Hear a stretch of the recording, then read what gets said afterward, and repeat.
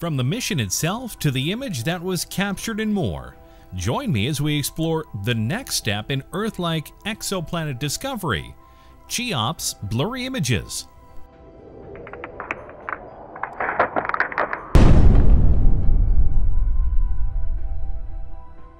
There are many space agencies out there in the world right now, and while many go on their own paths, many of them all try and find certain things to help us understand space and what's out there. For the ESA, the European Space Agency, they are following in NASA's, among others, footsteps and trying to find more Earth-like planets that might just be out there in the universe. And they're doing that mission via various probes and satellites and crafts. The ESA's exoplanet observer Cheops acquired the first image of its initial target star, following the successful telescope cover opening on January 29, 2020. The intentionally blurry image is a product of the specially designed telescope optics, which are deliberately defocused to maximize the precision of Cheops' measurements and enable its unprecedented study of exoplanets or planets in other solar systems. The acquisition of this image marks a key milestone in the extensive testing phase of Cheops, the characterizing exoplanet satellite before it embarks on its mission to study planets around nearby stars. This is a defining moment for the mission, says Nicola Rando, ESA project manager for Cheops. To the engineers and scientists across Europe who have worked and continue to work on Cheops, this image represents the culmination of many years of dedication and effort, designing, planning, coordinating, and building this new and unique satellite. It's always good to see a new step taken in the unveiling of the universe via technology, as many upgraded satellites and probes have been launched in recent years to try and map out space even more, giving hope to many that we might just find another Earth, or at the very least a place we can call home after a while. The image that Cheops took features a stellar field centered on HD 70843, a yellow-white star located around 150 light-years away. The team responsible for in-orbit commissioning of the satellite selected this star as the telescope's first target because of its brightness and its location in the sky, which made it ideal for testing purposes. After all, the last thing you'd want to do is go and monitor a particularly tricky star to observe because then it would skew the results and make you wonder if anything you're seeing is accurate. So by doing it this way and ensuring that all the systems are functional and are within the design parameters, you can go to the next step without issue. The first images that were about to appear on the screen were crucial for us to be able to determine if the telescope's optics had survived the rocket launch in good shape, explains Willy Benz, principal investigator of the Cheops Mission Consortium from the University of Bern, Switzerland. When the first images of a field of stars appeared on the screen, it was immediately clear to everyone that we did indeed have a working telescope. As noted earlier, the Cheops telescope deliberately delivers defocused images of a target star onto the detector, a charge coupled device or CCD, in order to distribute the light from each star over many pixels. This makes the measurements of starlight more precise, as they are much less sensitive to small differences in the response of individual pixels in the CCD and to variations in the telescope pointing. That may seem and sound counterintuitive because in the realm of photography, you want to have the cleanest and most detailed image possible. But in this case, blurrier is better, especially since when you look at something in space via something like a telescope lens, it's not exactly accurate as light is traveling through space in order for you to see it and thus things can get distorted as the light travels. This is one of the reasons that people argue over the shape of the universe, because with all the light being emitted, it can change how you view said shape. Before we dive more into Cheops and its finds, be sure to like or dislike the video so that we can continue to grow and make the best videos possible for you the viewer. Also be sure to subscribe so that you don't miss any of our weekly videos. Getting back to the topic at hand in terms of blurry images via Cheops, having a precise measurement of the star's brightness and its variation is of critical importance to the scientists striving to learn as much as possible about the planets known to orbit those stars. A planet transiting in front of a star in Cheops' view causes the star to dim, a barely detectable dip that can reveal key information about the planet's properties, most importantly its size. Now that Cheops has observed its first target, we are one step closer to the start of the mission science, says Kate Isaak, ESA Cheops project scientist. This beautifully blurred image carries the promise of a new, deeper understanding of worlds beyond our solar system. A bold claim, but one that the ESA is willing to back up with the next part of the mission itself. Over the coming weeks, teams at the Mission Operations Center in Torrejon near Madrid, Spain, together with colleagues from the universities of Bern and Geneva, Switzerland, will conduct an extensive series of tests on Cheops' instrument and detector to characterize their in-orbit performance. The same test will be used to confirm that the scientific data taken by Cheops is processed appropriately. This is important for many reasons, not the least of which is the overall mission of Cheops itself, which is a bit different than what you might expect.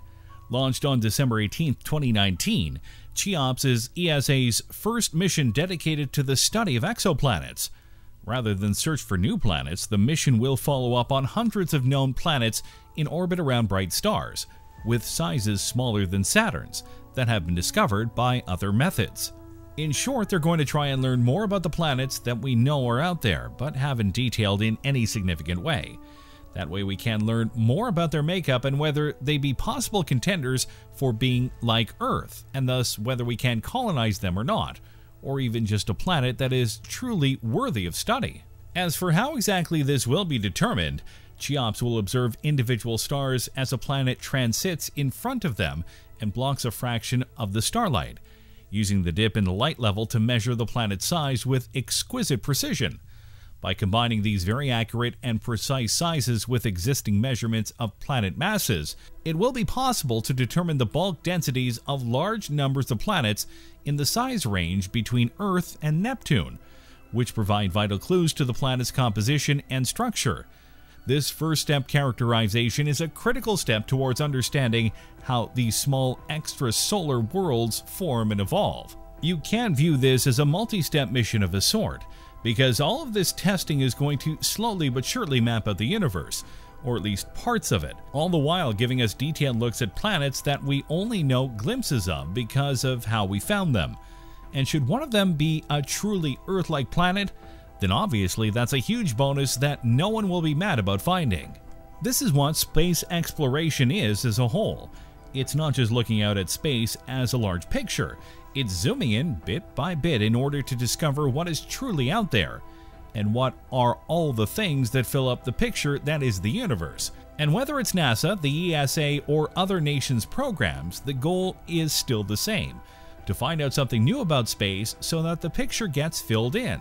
And Cheops is going to be a huge part of that mission going forward. Now, if you're wondering what the team meant by saying that they wanted to find out how extrasolar worlds form and evolve, it's simple. There are worlds out there that are rather mind-boggling in their composition or how they act on a regular basis. For example, there are worlds out there that have volcanoes that spew out ice, and there are planets that rain down glass sideways, and so on and so forth. These things feel like they're part of a sci-fi movie, but they're very much real, and yet how exactly the planets got this way in the first place is a bit of a mystery. Sure, we know how they act now, but how did they go from basic rock formation into what we see them as now? Believe it or not, despite all we've learned about the universe and how planets form in the general fashion, we still know very little about the various processes that help turn planets from one thing to another. One thing that is a huge factor is obviously the sun that the planet orbits around. If it's too close to the sun, the planet will face extreme heat and everything that comes with it or if it's too far away from the sun, it'll be too cold to do various things. Also, there is the fact that the orbit of the planet and whether it's a fully rotating planet or a tidally locked one plays a huge factor in things as well. But even knowing that does not fill in all the details and steps on how planets form out in the universe. And that's why crafts like Cheops are aiming to get dimensions and characterizations about planets so that they can truly go and be studied so that potentially these questions can be answered. Whether they will be or not is a bit up for debate, obviously, but taking steps towards answers versus just guessing is a must, and that's why missions such as these are so important. Plus, imagine the discoveries that could potentially be made. We've already found an incredible slew of planets across the stars. Cheops may find the next one that boggles our minds and calls for more research. Like what, for example, you might say? Well, how about 55 Cancri E? The planet itself was actually a star in the beginning of its life. It was part of a binary system, which meant there were two stars in the area. Over the course of some time, the partner star tried to consume it, but since the star had carbon inside of it, the process couldn't be done completely. The enormous strain and pressure of the partner star instead turned 55 Cancri E into one made of diamonds, mostly. It's about one third pure diamond, with other materials making up the rest. 55 Cancri E is twice the size and eight times the mass of Earth. So when you do the math on the planet's size and the value of the diamond at current pricing, you get $26.9 nonillion dollars worth of diamonds. Or if you had 57.3 light years away from Earth, you would find a planet called GJ504b, and it is in fact a planet that is 100% pink. Or to be more colorfully accurate, it's a shade of magenta. So the obvious question is, how does a planet get wrapped in a shade of pink magenta? That would be because while it is a fully formed planet, the process that made it a planet hasn't burned through yet, meaning the heat that helped make the planet is still around on GJ504b. So as a result, the planet is pink. Oh, and it should be noted for the record that this planet is actually the size of Jupiter. So it's not just a pink planet, it's a large pink planet. Still not enough for you? How about HAT P7b? This is a planet that quite literally rains rubies and sapphires, two of the most precious gems on Earth. Can you believe it? There's a planet where it rains gemstones. Or if you want a planet that is truly out of whack in terms of looks, go to WASP 12b. The planet is actually egg shaped due to the massive amount of gravity that the sun it encircles exhumes and this is only one part of the strangeness of the planet, because the gravity isn't just elongating the planet, it's killing it. Worse, it's killing the planet slowly. So in about 10 million years or so, the planet won't be around anymore because the gravity will cause it to die. So as you can see, there are a lot of strange worlds out there, and there are just as many worlds that are deemed Earth-like or super-Earth in form that we are finding and wanting to learn more about. Cheops is just another cog in the machine to help us flesh all the information out that we can in order to learn more about the universe at large. Plus, with everything going on in the world right now via the global lockdown, imagine hearing something about space via a new planet discovery that can help change things. It might be a motivational thing that gets us to try and really get out of this lockdown so that we can get to space sooner and start colonizing places like the moon or Mars. Now, sure, you look at this blurred picture from Cheops and you think, oh, that's not that impressive, but it's not meant to be per se. It was a first step in a long mission of science and exploration. The next couple sets of pictures, those will likely be the ones that help change things potentially, and it's those that we should be looking forward to seeing and exploring. Thanks for watching, everyone. What did you think about the first images from Cheops? Do you think that these future findings will help explain the universe more? What do you think this special telescope will find as it looks out into space? Let me know in the comments below. Be sure to subscribe, and I'll see you next time on the channel.